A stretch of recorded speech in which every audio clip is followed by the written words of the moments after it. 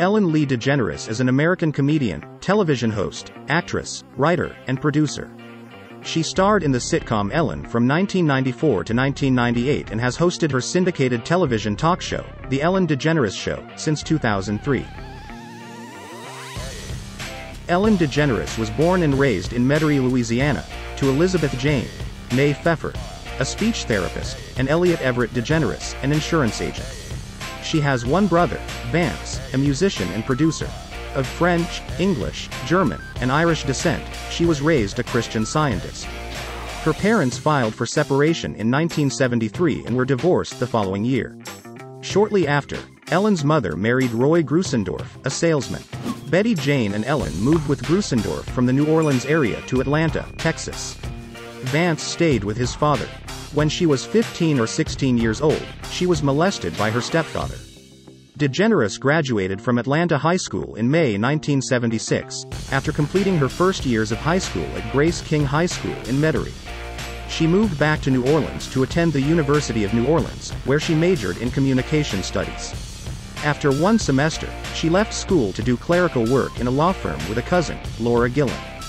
Her early jobs included a stint at J.C. Penney and waitressing at TGI Fridays and another restaurant. She also worked as a house painter, a hostess and a bartender. Ellen started performing stand-up comedy at small clubs and coffeehouses. By 1981, she was the MC at Clyde's Comedy Club in New Orleans. DeGeneres cites Woody Allen and Steve Martin as her main influences at this time. In the early 1980s she began to tour nationally, and in 1984 she was named Showtime's Funniest Person in America. After a 15-year hiatus from performing stand-up comedy, DeGeneres appeared in a 2018 Netflix stand-up special, Relatable. Ellen DeGeneres lists Lucille Ball, Carol Burnett and Bob Newhart among her comedic influences. Ellen's work in the late 1980s and early 1990s included the film Coneheads. She starred in a series of films for a show named Ellen's Energy Adventure, which was part of the universe of Energy Attraction and Pavilion at Walt Disney World's Epcot. The film also featured Bill Nye, Alex Trebek, Michael Richards, and Jamie Lee Curtis. The show revolved around DeGeneres falling asleep and finding herself in an energy-themed version of Jeopardy! Playing against an old rival, portrayed by Curtis and Albert Einstein. The next film had DeGeneres co-hosting an educational look at energy with Nye. The ride first opened on September 15, 1996, as Ellen's Energy Crisis, but was quickly given the more positive-sounding name Ellen's Energy Adventure. The ride closed permanently on August 13, 2017. DeGeneres' first regular TV role was in a short-lived Fox sitcom called Open House. She played the role of Margot Van Meter, an office worker at the Juan Verde Real Estate Company. The show co-starred Alison LaPlaca and Mary Page Keller. In 1992, producers Neal Marlens and Carol Black cast DeGeneres in their sitcom Laurie Hill, in the role of nurse Nancy McIntyre. The series was cancelled after only four episodes, but Marlins and Black were so impressed with DeGeneres' performance that they soon cast her in their next ABC pilot, These Friends of Mine, which they co-created with David S. Rosenthal. DeGeneres' comedy career became the basis of the sitcom Ellen, named These Friends of Mine during its first season. The ABC show was popular in its first few seasons due in part to DeGeneres' style of observational humor. It was often referred to as a female Seinfeld. Ellen reached its height of popularity in April 1997, when DeGeneres came out as a lesbian on The Oprah Winfrey Show. Her character on the sitcom also came out of the closet to her therapist, played by Oprah Winfrey.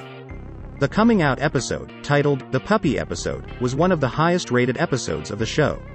The series returned for a fifth season but experienced falling ratings and was cancelled. DeGeneres returned to television in 2001 with a new CBS sitcom, The Ellen Show, which was cancelled after 13 episodes. In 1997, DeGeneres came out as a lesbian. The disclosure of her sexual orientation sparked intense interest by American tabloids. The contentiousness of the media coverage stunted her professional career and left her mired in depression. In her book Love, Ellen, DeGeneres' mother Betty describes being initially shocked when DeGeneres came out, but she has since become one of her strongest supporters. She is also an active member of PFLAG and spokesperson for the Human Rights Campaign's Coming Out Project. The same year she came out, DeGeneres started a romantic relationship with actress Anne Heche that lasted until August 2000.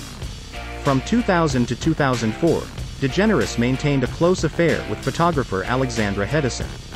The couple appeared on the cover of The Advocate after their separation had already been announced to the media. Since 2004, DeGeneres has had a relationship with Portia de Rossi.